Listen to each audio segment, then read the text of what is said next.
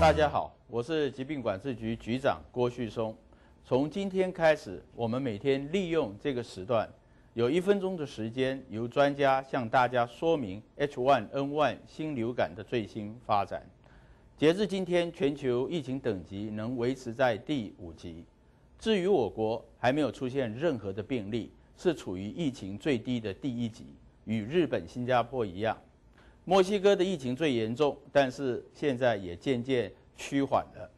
我们知道现在有些民众买不到口罩，所以政府呢已经释出防疫库存的两百万片，两天以后呢就可以在四大超商买到了，一包五片三十元，请大家放心，不必抢购。